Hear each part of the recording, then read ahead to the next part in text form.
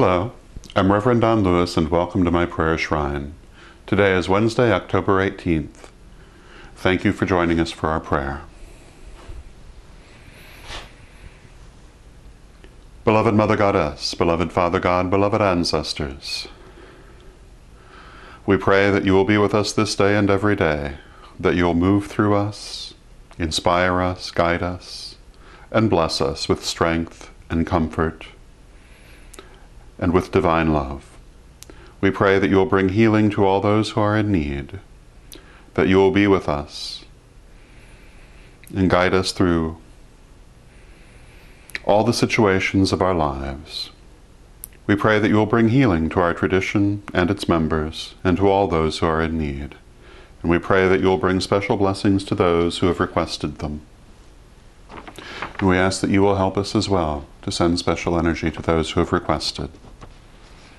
To Terry, to Alame, to Carla, to Alyssa, to John, to Stephen, to Terry, to Roxana, to Ernesto, to Corianne, to Elizabeth, to Jesse, to Marjorie, to Shannon, to Halwyn, to Steve, to Aries, to Mike, to Vivian, to Claude, to Anastasia, to Mary, to Starfire, and to all those people whose names are on this paper and to the Correllian tradition as a whole. Behold, even as this paper burns, lit from the spirit candle at the center of the altar, so too may the needed energy go to those who have requested it.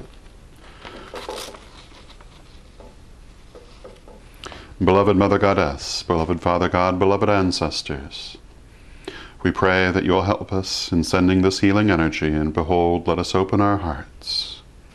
And let us see the energy going from our heart into the flames and thence to the people, through the transformative power of the flame, and through our intent. And behold, we say to all those who have requested energy, we speak to your higher self and ask you to accept this energy and to use it for your healing, for your strength, for your comfort, in whatever way you need in accordance with your own free will.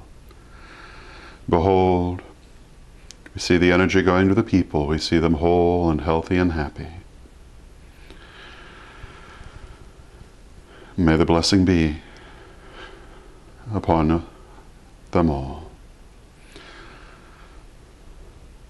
And may the energy go to all those who have requested it and all those who are in need. And behold, beloved Mother Goddess, beloved Father God, beloved ancestors, we thank you with love and with respect.